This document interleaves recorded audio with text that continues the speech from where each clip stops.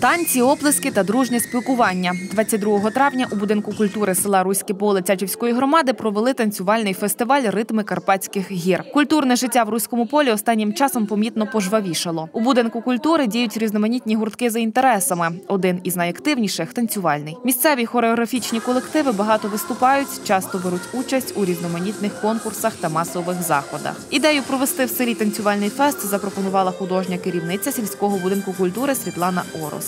Сьогоднішній проект е, це одна з моїх мрій, можна сказати так. Допоміг мені в цьому реалізувати.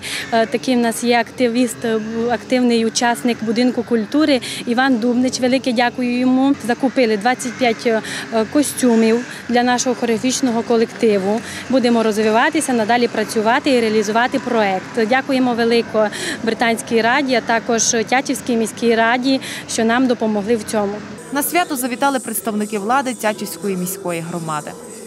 передаємо через танець свою енергію, передаємо щедрість душі, передаємо багатство свого серця і, звичайно, свої таланти. До участі у фестивалі запросили танцювальні колективи Виноградівської дитячої школи мистецтв. Кажуть, вирішили започаткувати творчу співпрацю. Тож після фестивалю у відповідь запросять руськополівців до себе.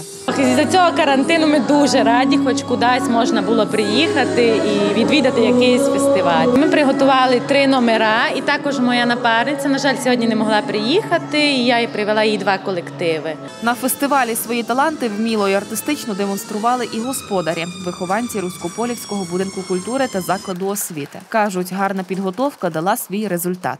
Ми готувалися, проводили різні репетиції, тренували танці. Е, Костюми в нас нові і дуже гарні. Організатори фестивалю сподіваються, цей проект стане поштовхом до подальшого розвитку культурно-мистецького і молодіжного життя села.